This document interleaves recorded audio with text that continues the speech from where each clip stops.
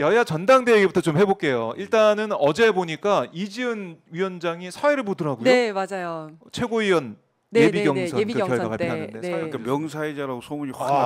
아, 감사합니다. 분위기 잘 띄우고. 어 이게 뭐 박더라고요 분위기가. 아, 네, 네. 너- 고생하셨어요. 네, 그 제가 네. 중앙당 선거관리위원으로 활동을 하고 아. 있어서, 네, 어, 물론 제가 또 잘한 것도 있었겠지만, 그래서 선발이 돼서 사회를 볼 수 있었습니다. 많은 관심이 많았고 네, 최고위원 선거가 민주당 뜨겁잖아요. 지금. 네, 너무 재밌었어요. 저 이제 가까이 볼 수 있는 기회가 한 번도 없었는데 이번에 네. 처음 그렇게 경험을 했었는데요. 굉장히 뜨거웠 고 그래서 이제 엘리베이터 나오면 거 현관에서부터 입구까지 그냥 다 이제 서서 한 표를 또 부탁하는 후보자들이 한 아. 표를 또 부탁하고 또 그 안에서 연설을 할 때도 네. 뭐 어떤 분은 거수경례를 하기도 하고 큰절을 하기도 하고 구호를 외치기도 하고 연설도 너무 잘하셔가지고 아, 네 굉장히 그래요? 재밌었습니다. 재미있는 전당대 네, 레이스다라고 볼 수가 있고요. 김철근 우리 사무총장님은 국민의힘 전당대 관심이 또 많으시잖아요. 전 뭐 양쪽 다잘 양쪽 다. 근데 민주당 예. 지금 당 대표 선거는 뭐 물론 뭐 이제 그 김두관 후보가 나오면서 약간의 이제 경쟁 네. 뭐 여론조사도 예. 뭐 김동 후보 지지율이 또 오르고 있다 이런 얘기도 있고요. 일각에서. 그 과거에 DJ 때도 예. 그당 대표 후보로는 김상현, 음. 대통령 후보로는 정대철 뭐 이렇게 해서 네. DJ하고 경쟁한 적도 있었거든요. 아, 그래서 맞아요. 그때도 보면 75대 25 정도 음. 뭐 이렇게 나왔는데 네. 그 김두관 후보가 얼마만큼 유의미한 득표를 할 거냐. 아. 그다음에 당내 경쟁을 할때 예. 정말로 그 경쟁을 하는 거냐 아니면 약속대련 비슷하게 하는 거냐 이, 이걸 좀볼 필요가 있죠. 음. 그러니까 저는 일극 체제를 극복하기 위한 민주당의 그 노력, 김두관 후보의 결단 굉장히 중요하다고 저는 보여지고요. 네. 음. 사실 이제 최고위원 경선 이건 13명이 나왔는데 변별력도 별로 없고 네. 인기 또는 그 인지도순 아 인지도순. 네, 뭐 그 정도로 보여요. 왜냐하면 평가도 현역 일곱 명의 원에 한 명인데 네. 원에 정봉주 전 의원이 그래도 방송도 하고 유튜브도 많이 하고 인지도가 꽤 있어요. 팬들이 많죠. 그렇죠. 지난번에 그리고 또 조금 약간 억울함 어, 그- 동정표가 많이 나온 것 같아요. 제가 그 보았어요. 예. 공천을. 받았잖아요. 네. 공천을 받았는데 뭐 문제가 있다고 그래서 이제 공천을 네. 반납하는 상황이 생- 생겼고 나중에 그 문제가 해명을 했다고 그래요 또. 음. 그래서 이번에 최고위원 해명하고 음. 뭐 피해자분들 찾아가고 뭐 음, 이랬다고 음, 하더라고요. 그래서 하여튼 뭐 음. 최고위원 숫자가 너무 많아갖고 변별력이 여덟 명이라서. 변별력이 별로 없고 예. 일단 인지도와 인기순 비슷하게 아. 되지 않을까 싶어요. 예. 그렇습니다. 뭐 이 당원들의 선택이 또 어떻게 될지 그게 또 인기의 한 단면의 단면이니까 음. 봐야 될 것 같고요.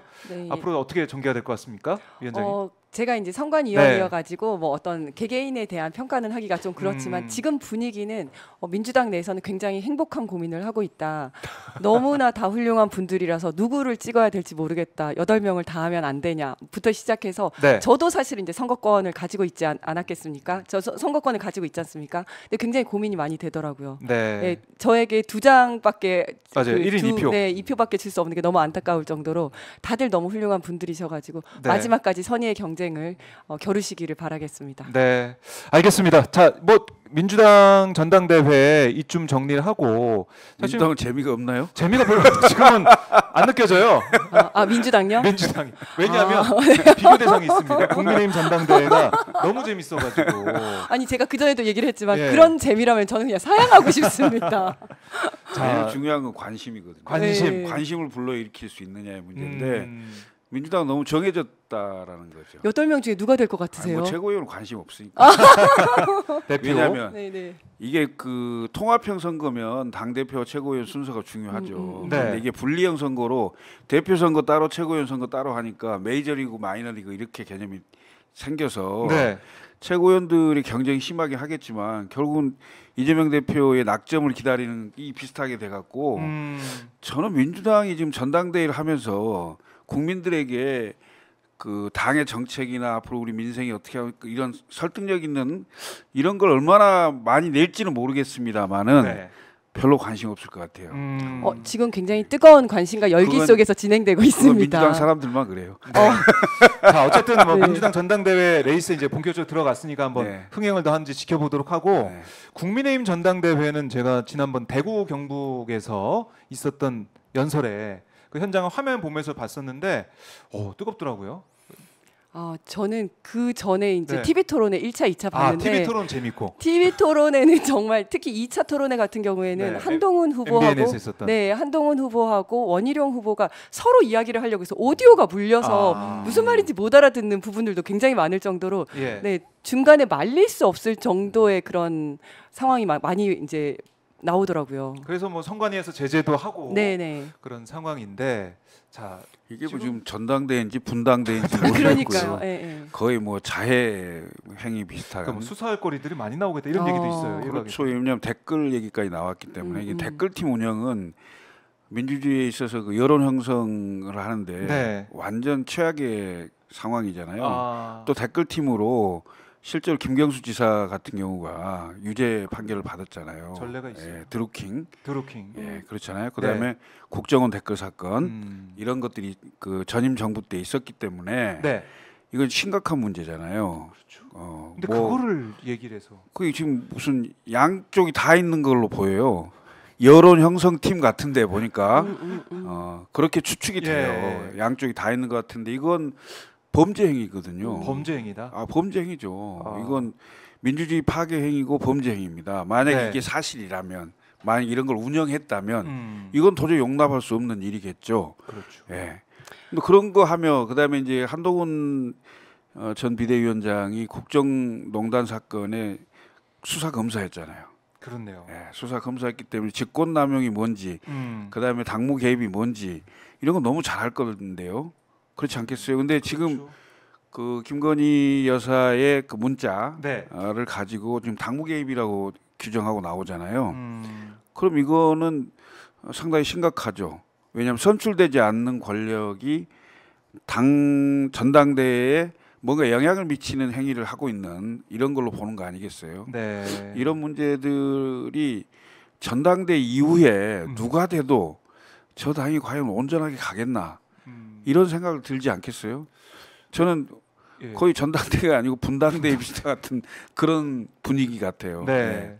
어떻게 보고 계십니까? 댓글팀 이거는 의혹은 밝혀내야 될 것 같아요. 이거는 그냥 넘어갈 수 없는 거. 아니겠습니까? 이거는 수사를 할 사안이라고 생각을 하고요. 네. 저도 이제 전당대회 까지는 뭐 한동훈 후보가 되지 않도록 하기 위해서 하는 거겠지만 전당대회가 끝나고 나서 어. 진짜 시작은 아직 이제 진짜 중요한 건 시작도 하지 않았다 이렇게 생각하거든요. 그래요. 전당대회가 끝나고 나서 여기에 대한 수사가 시작될 것이다. 지금은 말로 하지만 그 이후는 이제 어허. 수사로 시작이 될 것이다.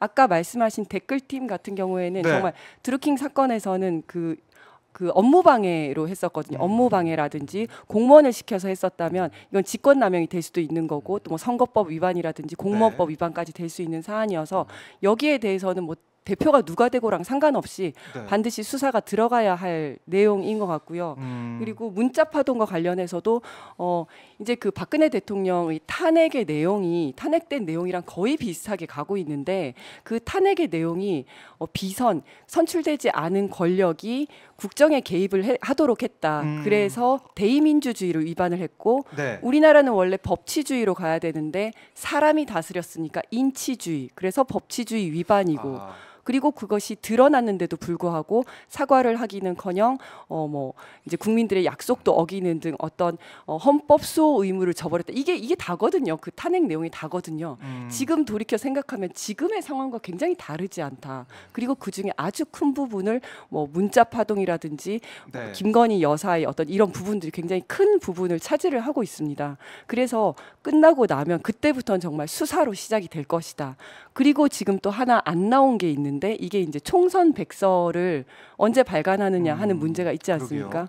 이제 총선 백서가 발간이 되면 이거는 지금까지는 후보들 개인 간의 공방에 불과했다면 이거는 당에서 공식적으로 이 한동훈 후보에게 책임이 있다 이런 얘기가 나올 거기 때문에 음. 조금 더 판이 달라질 수 있고 이제 그러면 이제 뭐 조정은 위원부터 이제 시작을 해서 여러 사람들이 또 참전을 하겠죠 여기에 이 공방에 있어서 네. 그래서 이번 주 중에 이제 이 총선 백서가 또 발간이 되면 다시 또 더 이제 이게 더 커질 것이다라는 음. 생각이 듭니다. 아, 이- 총선 총선 백서는 제가 알기로는 전당대 이후로 지금 미뤄놓은 거잖아요. 어, 이후에 할지 안 할지를 오늘 발표하는 걸로 어, 알고 아, 있습니다. 아마 논의한다. 내가 네네. 보기에는 전당대에 영향을 미친다고 생각하고 미루려고 하겠죠. 네. 사실은 상식적으로 생각하면 미뤄야 되는데 아니, 원래 상식적으로 생각하면 바로 전 전해야죠. 맞아요. 아, 안상식적으로 하면 총선 패배를 하고 네, 지금 네. 몇 개월이 지났잖아요. 네, 네. 지금까지 뭐 했어요? 그러니까요. 총선 패배를 하고 변화된 모습을 보이려면 우선 대통령실과 그 정부 여, 여당이 음. 음, 변화된 모습을 보여야 되고 그걸 기반으로 해서 전당대가 치러지는 게 맞죠. 음, 음. 근데 아무런 변화도 반성도 누구 책임 소재도 코- 없이 음. 어? 그냥 기간을 비대위를 만들어서 기간을 가지고 그 기간을 이른바 마사지 한다 그러잖아요. 네. 시간으로 마사지를 해서 본인들이 원하는 사람을 다시 대표로 만들려고 하니 음, 음. 그렇네요. 이 당이 지금 음. 국민의힘이라는 당이 엉망진창이 되는 거죠. 아, 저는 이게 전당대회 끝나고 말씀하신 대로 전당대회 끝나고 나면 아마 저게 당이 존속할까 싶어요. 어, 음. 누가 대표가 되든 간에 일단 한동훈이 돼도 친윤이 가만히 있지 않을 거고요. 음. 반대로 되잖아요. 그러면 한동훈을 지지했던 현역 의원 17명이 있어요. 네. 본회의 표결을 어떻게 할 거예요? 아, 예? 그 다음에 한동훈은 얘기했어요. 최, 최혜병 특검 대법원장 추천으로 삼자 특검을 하자. 하자. 아, 그렇게 말은 했죠. 그리고 본인들이 특검법도 내겠다 했어요. 네. 네. 그럼 그걸 갖고 협상을 해서 실제로 특검이 들어간다 이거예요. 아, 안 들어가겠어요. 난 내는 들어갈 가능성이 상당히 높다고 음. 봐요. 이래저래 안 되면 결국 예, 뭔가 합의점을 찾아서 여야가 할 수 있다. 그럴 수 있죠. 가